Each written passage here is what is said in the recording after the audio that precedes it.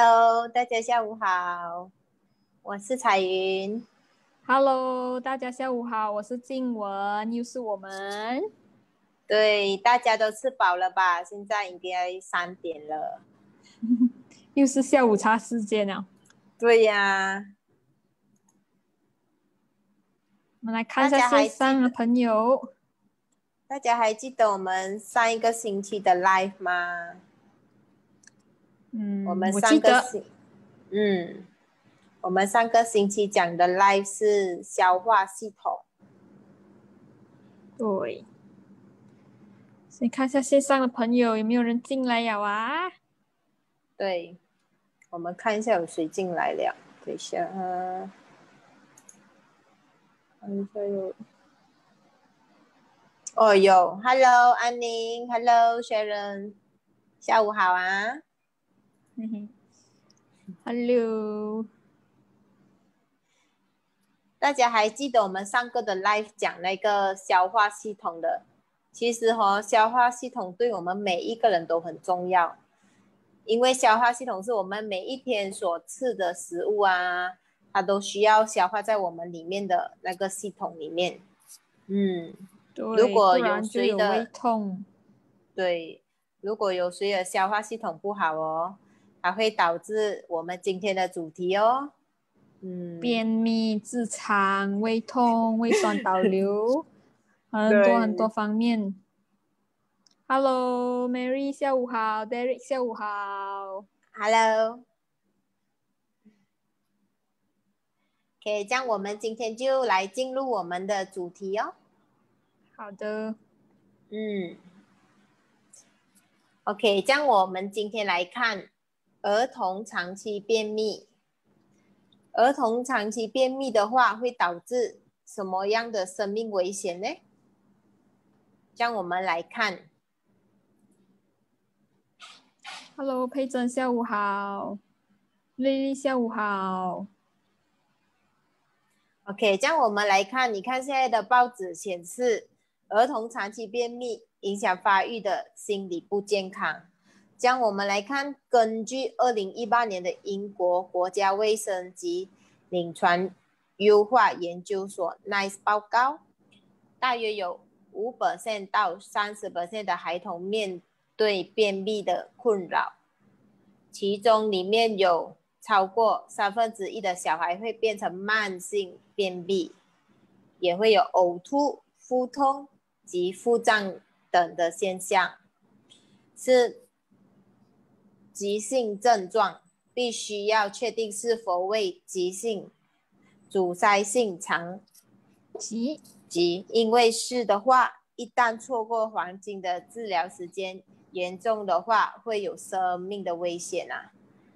对，嗯。从来都没有想到这个长期便秘会这样严重诶，还会对带来生命危险诶，尤其是华嗯华人的家庭啊，嗯呃，，因为现在生育生育率越来越低啊，然后每一年越来越少，越来越少，华人的人华人的人口越来越少啊，所以的话，嗯。呃，家里有一个孩子啊，还是两个孩子哦，就是掌上掌上明珠啊，就是手手掌心的宝啊，所以很多时候就是呃，他想要吃什么，我们就给他吃什么，因为对。很因为不爱吃饭了啊，所以他想要吃什么就满足他咯。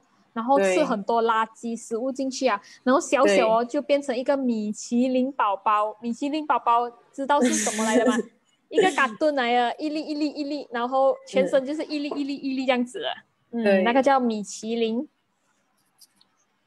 而且还会有发育不良的症状，所以我们就来看儿童长期便秘影响发育心理的不健康，就比如便秘的症状，它会导致我们呕吐，可能就上吐下泻啊，还是偶尔会好像感觉不舒服这样啊，胃酸啊等等，啊还有腹痛哦，就可能那个肚子就觉得好像不舒服这样。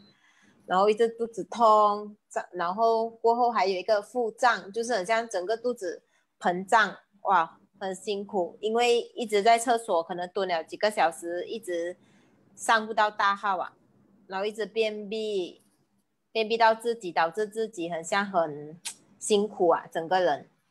如果我们长期便秘的话啦，会导致影响孩子的成长，可能就是发育不良哦。等下开静文讲那个米奇哦，一高一高的，嗯，对，还有慢性阻塞性长期，对，还有严重会有生命的危险啊。对，就很像刚刚报章所讲的，严重起来会有这个急性阻塞性肠疾，然后如果错过了这个黄金治疗时期，就会有带来这个生命危险。对，所以真的是要很好的去来照顾。这样到底便秘哦是什么原因造成的？尤其是小孩子，其实最大的元凶就是一直以来吃到不正确的一个饮食习惯啊。讲讲哎，因为他们不爱吃饭。有很少很少有小孩子是爱吃饭的，可能小时候哦就是比较肥肥有肉很可爱的，可是越来越大哦，他们就越来越不喜欢吃饭，他们就会讲我要吃快餐，嗯，我要吃炸鸡，我要吃披萨。啊，其实这些很美味的东西啊，他们都是小孩子的最爱啊，尤其是零食啊，所以叫他们吃饭哦可以。坐在那边喂他们，拿藤鞭在那边看住他们吃，喂他们一个一个小时、两个小时啊，不然的话就要用 iPad 来骗哦，开卡顿给他们看啊，用 iPad 来骗他们吃饭啊，有没有？线上的朋友有没有觉得喂小孩子吃饭是一件很痛苦的事情？然后真的是火都已经是起来了啊，所以父母真的是很难呢，又要小孩子吃饭。所以如果很多就是嫌麻烦啊，因为喂小孩子太浪费时间了啊，所以就买他喜欢吃的东西，就买炸鸡回来咯，买一些蛋糕啊、面包啊，就是一些呃粒粒扎扎的东西来给他们吃。热量高的、高热量的食物。对，有小孩子是不喜欢吃炸鸡的吗？你有不会吧？不会吧？I think 觉得每个现在每个小孩看到炸鸡都很开心。尤其是麦当劳啊、KFC 啊，对我看到瑞丽讲，孩子们很挑食。对呀，现在的小孩子真的很挑食。嗯，你只能够煮他喜欢吃的。其实妈妈们哦，买菜、煮菜、打包哦，都是买孩子喜欢吃的东西，不会买孩子不喜欢吃的。很像他喜欢吃肉，就会尽量买肉回来，然后煮一些大餐给他吃。然后他不吃菜，就很少会给他吃菜了。啊，父母们是不是这样？这样是不好的哦，不可以太宠孩子啊。对，安玲讲不可以小看小孩子有便秘，因为会影响他们一辈子的健康。是真的。对，再来其实就是缺乏纤维啊，因为他们都不喜欢吃菜，但是纤维哦，只有在蔬菜水果里面有啊，肉类是完全没有纤维的。这样讲吧。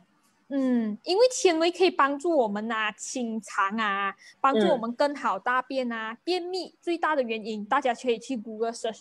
便秘最大的原因就是因为缺乏纤维，不管是大人还是小孩子都是一样的。所以我们不要以为大人才有便秘的问题，小孩子啊有便秘正常的啦，小件事不是的，其实一样跟我们一样，大人一样是严重的事情来的。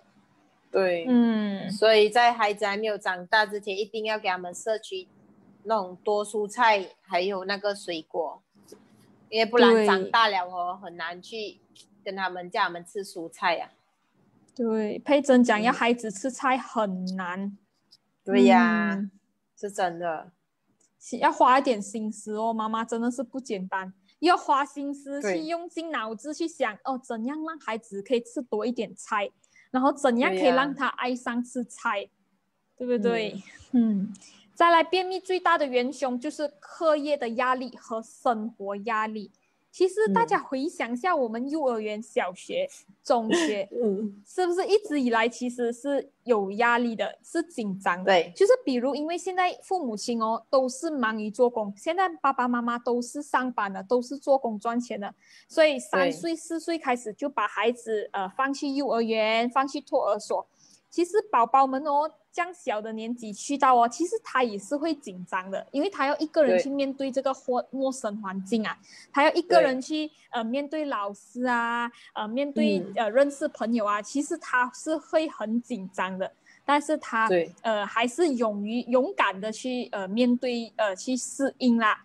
嗯，再来就是是呃五六岁开始就开始各种考试了。其实我们从五岁开始，可能从四岁开始就考试，考到去二十多岁。其实我们一直以来都是面对着很多的课业压力啊，生活压力。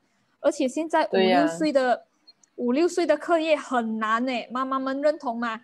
他们就开始乘法表啊、除啊、减啊，呃，加减加减正常啦。但是他们已经是开始很深了嘞，尤其到了一一年级哦，已经是越来越深。然后到了三四年级，已经不会教了啊，家家长们已经不会教了，所以只能够把他们 对，只能够把他们放弃 呃补习班啊、功课班啊来解决这个问题。对，嗯。其实还有疫情期间，我相信妈妈们都疯掉了吧？嗯，全部家长们哦，把那个线上的课程表啊，全部 send 给妈妈们，然后妈妈们就是一个闹钟啊，等下三点跟我上网上课了，你没有看着他又不可以的哦。老师老师全部讲一定要看着他上课，不然他会讲，对，他会自己跑去上网，自己去看 YouTube 哎，妈妈们是不是？看戏啊，打 game 啊，对。都没有专注在上课，对，不只是不只是孩子压力，其实妈妈也是很压力，尤其是现在疫情，妈妈们应该很感谢学校，很感恩老师，因为原来在在家教小孩子，教小孩子上课是多么一件辛苦跟痛苦的事情，哎，对呀，嗯，我看到佩珍写。呃，现在五岁学的东西是我们小学学的东西，哇，够力！五岁，你看，对，其实越来越深了哎，因为他们很早开始读书了，那三岁开始放去给他们开始学 A B C，然后越学越深，越学越深，到六岁就已经会小学的东西了，嗯。嗯，而且全部要名牌学校，我要名牌幼儿园，我要名牌小学。然后我要出名的学校，不可能放送他去一个不出名，然后呃一些没有什么没有什么学习的学校，所以大家都想要孩子们就是嗯努力读书。其实他们一直以来都面对着课上课的压力，然后生活紧张。对呀。所以嗯，所以久而久之就是造成这个便秘的情况。配这些，全部妈妈都怕输。我看到，我看到安宁讲，我的孙哦，在几个月哦，送去那个孩子的那个学校。对，因为现在有很多还要一对一啊。嗯，开饭脑，给他去那边呃玩东西呀，呃玩水呀，给他感受啊。其实，嗯，现在也是很多这种开发左脑、开发右脑的。嗯。对，可以理解。现在的小孩子不只是读书，还有画画、舞戏、学钢琴，很，总之就是要动、要活动的东西。对，还应要让自己的头脑更加的活得更加精彩。对，因为越多文凭啊，对未来就越多帮助咯。是不是？你看钢琴文凭啊，学到第几 grade 啊，然后又要送他去运动呢，学一下泰拳啊，学一下高拉队啊，等等。嗯，真的，所以父母们不要降大的那个给孩子们降大的压力。对。这样我们来看哦，免疫学专家三十年的独特研究能量的搭配，就比如养车前子。养生前子，它是高量可溶性纤维及不可溶性的纤维。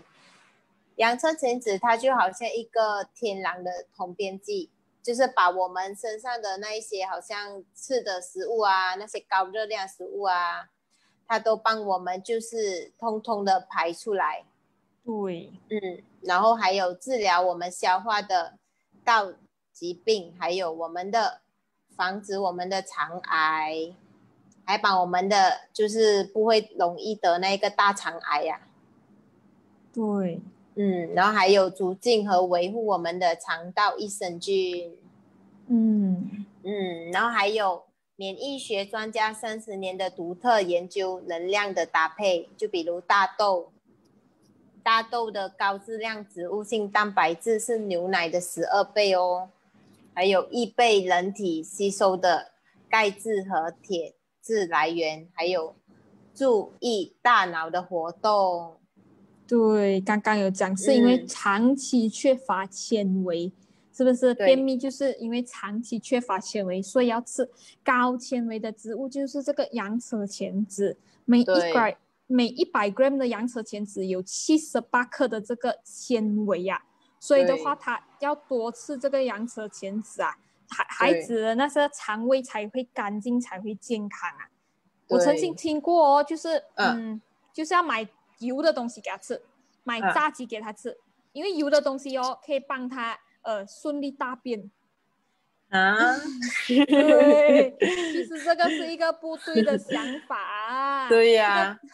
这个只会让那个油哦造成我们身体更大的负担，包着我们的心脏，包着我们的肝脏，然后呃造成我们心脏病的风险啊大大的提升啊，所以千万不要有这个想法，要吃高纤维的植物啊，不是吃油的东西啊，大家。对。再来就是这个呃。明日叶，这个明日叶是日本一个很出名的一个植物，它出名在什么？它的生命力很顽强，它是一个很长寿的一个植物。今天采了它一片叶子哦，它明天又长回来了，所以它是很长寿的一个植物来的。它可以帮助我们改善我们的消化功能，然后预防这个胃溃疡啊。对，小孩子就要多吃哦，然后它可以抑制胃酸分泌。就是不要给它分泌太多，也不要给它分泌太少，就是有一个平衡点。再来，它是一个天然的利尿剂，所以不爱喝水的小朋友啊，可以给他，可以给他吃这个明日叶啊，他会爱上喝喝水，因为哦很香啊，味道很香，然后可以帮助他呃勾身体的那些呃垃圾毒素出来，然后排出体外咯，然后还可以帮助提升免疫系统的，嗯。再来就是这个要多吃这个蔬菜水果啊，因为蔬菜水果里面哦，就是有很多高纤维，还有里面有很多种类的植物营养素，所以可以帮助第一可以帮助它呃排便啊，第二可以帮助他们提高这个抵抗疾病的能力，尤其是现在疫情期间，孩子们如果呃生病的话怎样办？然后又不敢去看医生，又不敢去医院哦，因为怕怕去到这些高。高风险的地方哦，会重感染啊，所以要确保孩子们哦是呃呃这个抵抗力是非常好的，然后它可以提供我们一整天所需要的营养，嗯，是不是小小呃妈咪们是不是小孩子全部不爱吃菜啊？我们有方法可以让他们爱吃菜。我跟彩云每一天每一天都有在使用这个多种类的蔬菜水果，而且味道非常的棒，家里的小朋友一定会喜欢。对，大家可以 PM 我们怎样来吃到这么多的蔬菜水果，然后味道又一流的，就是一些小秘方。我看到学人讲哦，哪里可以买到明日叶？嗯。可以 PM 我们呢？哪里可以买到？可以 PM 我们。对。那小孩子爱吃菜，嗯，这些全部成分哦，都是可以买到，而且是非常方便的，然后非常的安全，非常的独特，非常的有效，所以大家不需要害怕的。对。嗯。像我想问一下哦，线上的妈妈们，你们是给孩子喝牛奶粉？还是豆粉呢？嗯，如果是讲牛奶粉的话，因为最近研究显示啊，多喝牛奶并不能为我们的骨骼提供更好的保护。对，实际上，如果摄取大量的牛奶的女性，骨折或死亡的风险也比较高。嗯，然后如果我们摄取大量的牛奶的男性爱。他死亡的风险也更高，就主要是他的心脏相关的死亡。嗯，像我们人有呃人研究人员的指出，随着牛奶摄取量的增加，OK，然后骨折的风险并没有降低啊，反而还会一直在增加上升。嗯，对，所以大家对，嗯。无论是男女哦，摄取的牛奶越多哦，我们就压力就越来越大，氧化压力，然后还有氧化压力，还有很快就会变老哦。嗯，然后还有癌症及心脏病都有关联啊，大家知道是不是很严重？如果我们摄取动物性的牛奶，嗯，对，因为妈妈们决定了孩子们的健康，决定了他未来身体的一个免疫系统、抵抗力，还是一些健康上的问题，已经是决定了。所以的话，呃，从小就要开始帮他们做选择啊。嗯，我看到线上很多人都写喝豆粉。确认写喝牛奶粉，嗯，有人 配着写家里长辈都讲喝豆粉瘦瘦没有营养哦，不是啊，因为他们还停留在以前的那个呃时代啊，那个思维啊，还是一些健康知识没有在提升啊。现在越来越多报道显示啦，喝这个呃牛奶啊，还是乳制品啊。其实是会造成这个过敏的症状，然后还有就是这个，嗯，还有这个就是这个哮喘啊，因为这个乳制品哦，它会造成这个呼吸道的一个过敏，还有哮喘，还有其他过敏反应的。所以的话哦，呃，其实很多人哦，他不只是对这个牛奶过敏啊，他是对牛奶里面的抗生素过敏啊。诶，牛奶里面有抗生素，诶，怎么会这样呢？其实是因为哦。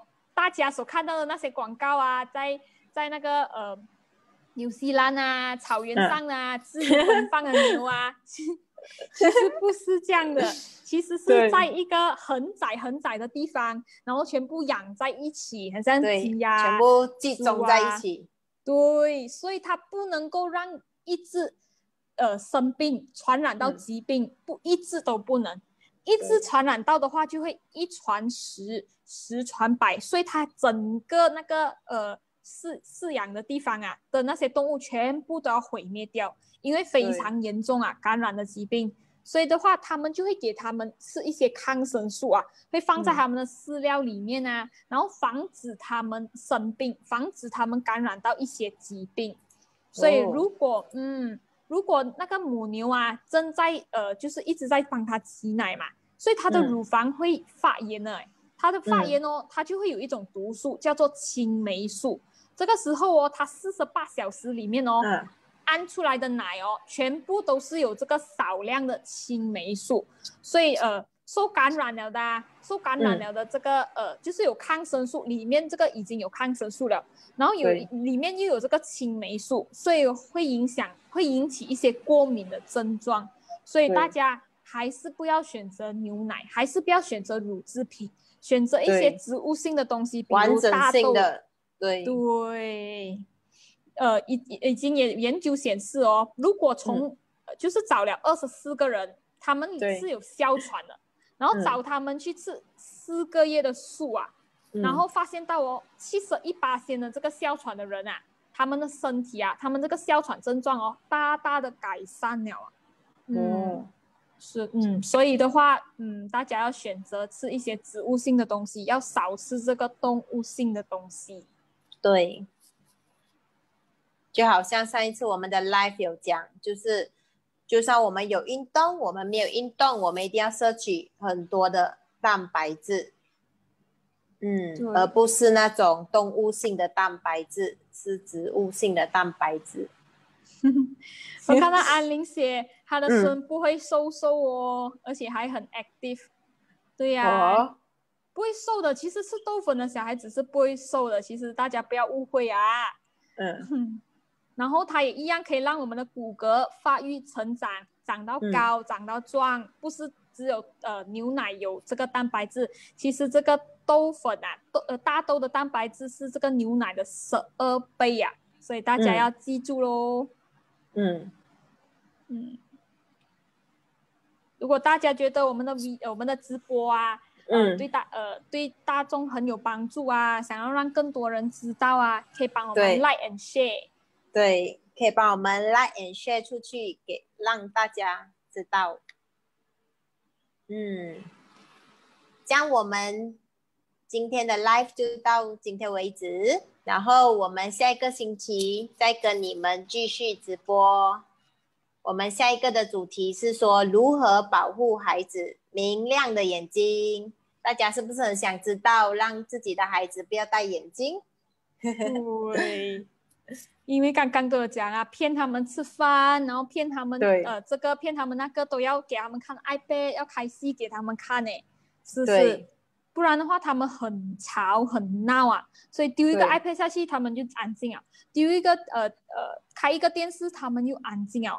但是哦，他们有时候没有看到哦，他们在电视机前面这样子静静看，嗯，然后 iPad 哦，他们还不知道那个距离啊，所以的话哦，你看小小有很明亮的双眼，可是长大了哦，全部都戴眼镜哦，大家有发现到吗？